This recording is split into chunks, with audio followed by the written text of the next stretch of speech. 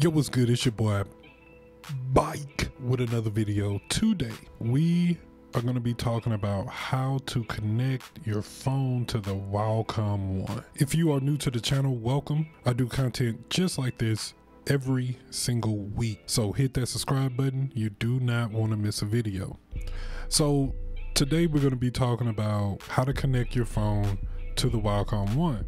At a glance, it seems simple. You just get a USB hub, hook it up to your phone, and then hook it up to the Wacom One. But this is where you are mistaken.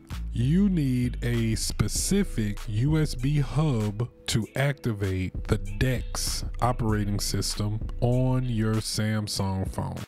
So let's get it out the box. Out the box, typical. Got your USB hub, and it has um, your charging cable, which is a USB C to C. You have to provide your own brick right? And so once you plug that in, you just plug that into the wall, and then you would uh, plug up your HDMI to the back of this hub, and then plug in your USB on the side of it, and then you would sit your phone into the top of this thing right here. And then once you do that, it should pop up on your screen. You're already in DeX. This is DeX. You're already in DeX. And so what you want to do is you want to go to the bottom left hand corner, click that with your stylus and then all of your applications will pop up. Now today I I chose to use Sketchbook Pro, right? So whatever drawing application you have on your phone, just pop that open. Hit that, pop that open, and then it's gonna open up and then you can start drawing.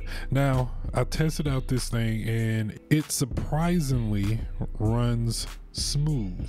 It runs very smooth. Um, I was very surprised just how this thing works. And I wanted to check and see how many uh, layers that I could actually get. Because, you know, Sketchbook Pro tells you, um, depending on your how high the resolution is, it, it, tells you how many layers that it can go without actually crashing out. And right here we see 433. So I can go 433 levels. I mean, uh, 433 um, layers without this thing crashing. That is amazing. Now I don't know if it's gonna be, you know, lagging out. You know what I'm saying? We'll have to test that a little bit later. But that's 433 layers. If it does 100 layers, like that's amazing, right? That's amazing. So this thing here is I'm gonna be playing around with it. I'm gonna be making a few more videos on it as far as what application runs the best um, and, and stuff like that. But as y'all can see from the line test, I did a line test just to see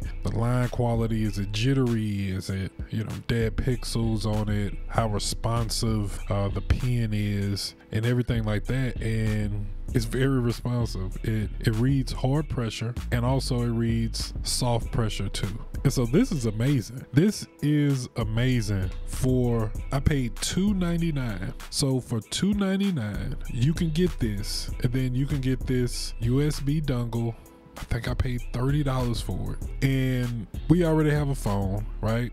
Depending on, and this is only for Android phones. Um, so if you have an Android phone, you team Android, all you have to do is pick up one of these Wacom One, get you a dongle, connect it to your phone, and you're in the game. And also not killing your pockets. Because if I was just getting started in digital art, this would be my go-to. This would be the cheapest route. Number one, this would be the cheapest route. You can start off with your phone, using your phone, and then also later on, when you get a laptop, when you get a computer, you can hook this thing up to a computer. So it, it, this thing can upgrade with you.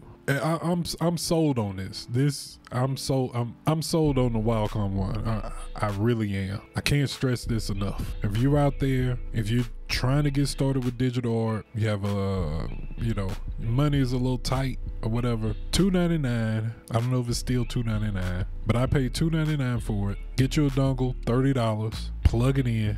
Plug it into your phone. You got a free application like Sketchbook Pro and get the drawing. But anyway, I hope y'all got some type of value out of this video today. If you did, hit that like button, smash that subscribe button, and as always, I'll holler at y'all next time.